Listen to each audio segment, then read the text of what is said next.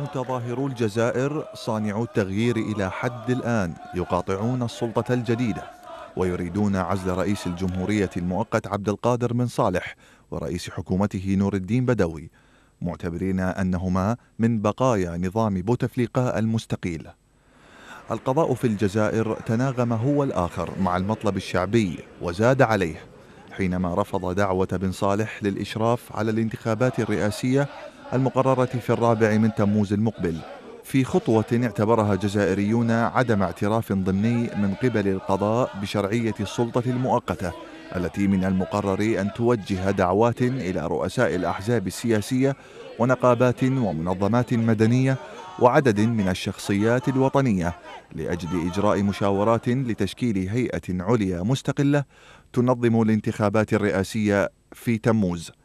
لكن العزلة السياسية والشعبية التي يواجهها الرئيس بن صالح ورئيس حكومته قد تحول دون الوصول إلى الموعد المقرر وهما على رأس السلطة.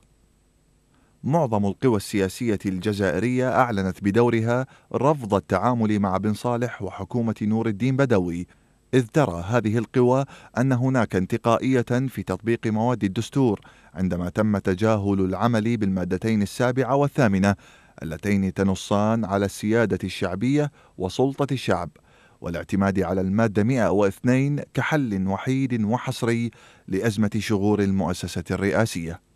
رفض القوى السياسية والنقابات والهيئات الشعبية قرار الذهاب مباشرة إلى الانتخابات الرئاسية من دون حوار سياسي ومجتمعي يحدد ملامح المرحلة المقبلة أمر يعقد من مهمة بن صالح في تنفيذ الحل الانتخابي رغم حصوله على دعم الجيش. لا سيما وأن الموقف الشعبي في مسيرات الجمعة الأخيرة كان واضحا. الجزائريون يرفضون أي تسوية سياسية قبل رحيل كل رموز النظام الحالي.